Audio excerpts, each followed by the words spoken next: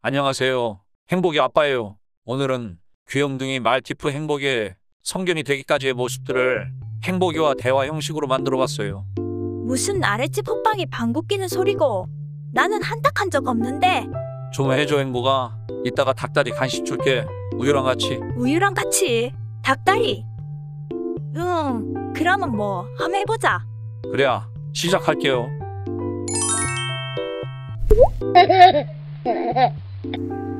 요 때는 인천에서 행복이를 입양하자마자 본가인 대구로 내려온 때예요.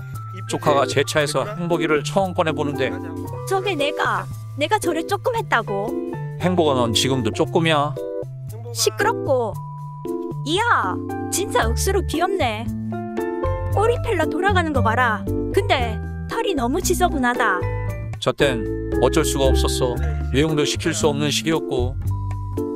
다음은 하이파이브하는 행복이. 행복이는 신기한 게 오자마자 낯가림 없이 활기가 넘쳤어요. 그러네 어째 저를 쌩쌩하지 요즘엔 삭신이 다 쑤신데 늙었는 갑다 어? 너 돌도 안 지났는데? 집을 번쩍번쩍 들고 적할 힘도 인제 없다. 인제 적하다간 행복이 허리 나간다. 나이 40 아빠 앞에서 못하는 소리가 없어. 메롱. 에휴, 메롱이라니. 이래서 가정교육이 중요하. 저기는 얼마 전에 그래, 행복이 중성화 수술했던 동물병원이야. 행복이 데리고 와서 다음날 아빤 바로 병원으로 가 건강검진을 받았단다. 혹시 몸에 이상 있는 곳은 없는지 그랬어. 어땠는데? 건강하댔어. 귀에 염증 증상이 살짝 있는 거 빼고. 너 아빠가 뾰족한 구멍으로 귀에 뭐 넣어주는 거 있지? 그게 염증 약이야. 아, 그래서 그 약만 넣으면 귀가 시원했구나. 그렇지.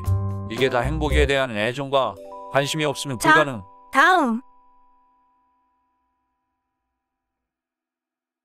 아빠 양반 삐진나. 너랑 얘기 안 할 거야. 아빠가 이야기하면 말을 그러면 또박또박군. 지금부터 저 행복이가 설명할게요. 엄청 저 참놈. 엄살이 심한 애가 있고 그러니까 보이는 장면은 행복이 첫 미용 때예요. 처음 미용 받을 때 어찌나 어색하고 불편하든지 그래도 미녀 미용사님 덕분에 멋지게 첫 미용을 해낼 수 있었답니다. 다음으로 저건 먹고 아 애견 카페 처음 갔을 때구나. 아빠 양반은 기저귀도 못 채워서 손 덜덜덜 뭐라고 임마? 말 안 한다며? 아니야. 해야겠어. 저기는 행복이와 처음 간 애견 카페예요. 언니 오빠들이랑 신나게 노는 거 보이시죠?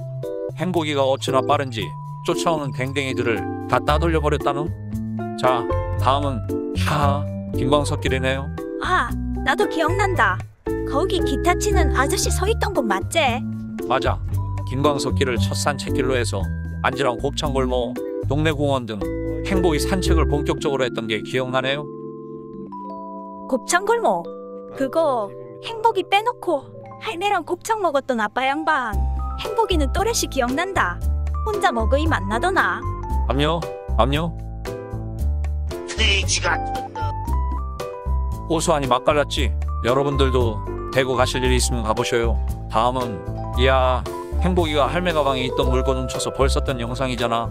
훔친 거 아니다 그냥 이갈이 한다고 이것저것 깨물고 하다 보이 그게 할매 그거였던 거지 그거 그런 게 있다 자 패수 그라고 보이 시간 다 됐네 아쉽다 그러게 아무튼 짧게나마 행복이 완전 쪼꼬미 시절을 보여드렸습니다.